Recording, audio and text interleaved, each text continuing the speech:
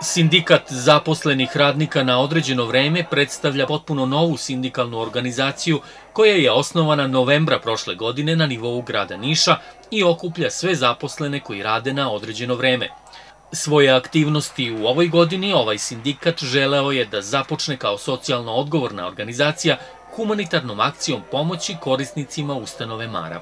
Mislim da je ova lepa akcija i da treba češće da razmišljamo o ovakvim potezima biti. Javili su se još neki prijatelji koji će svojim donacijama da pomognu ovakve akcije.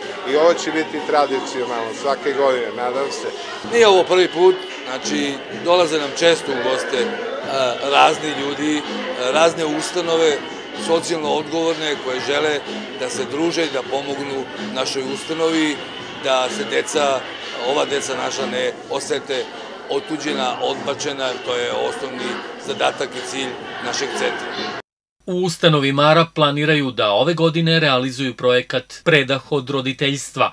Reč je o proširenju korisnog prostora i uvođenju celodnevnog kao i vikend boravka za korisnike ove ustanove.